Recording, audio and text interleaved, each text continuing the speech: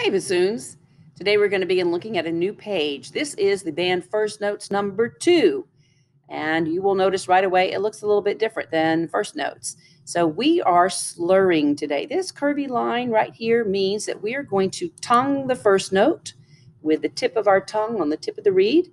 And then the rest of the time, we're just going to move our fingers and the air notice that we are slurring two measures. That means that you're going to have to take a really big breath at the beginning of this to make it for two entire measures.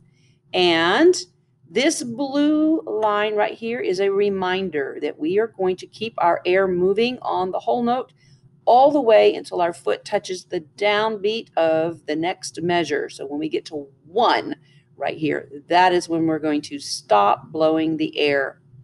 Notice our instructions to keep the right hand curved with our fingers hovering just above the keys. We're going to be playing three notes. C, whisper one, two, three. B flat, we'll add the B flat lever and two fingers. And then A, just lifting the thumb. So we just have two fingers on the bottom.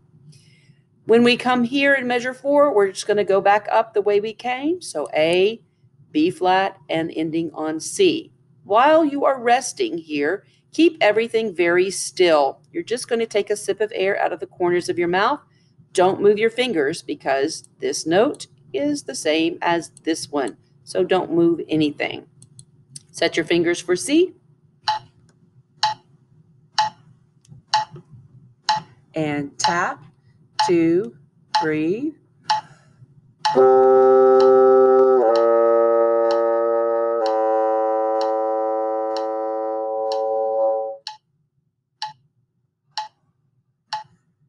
How'd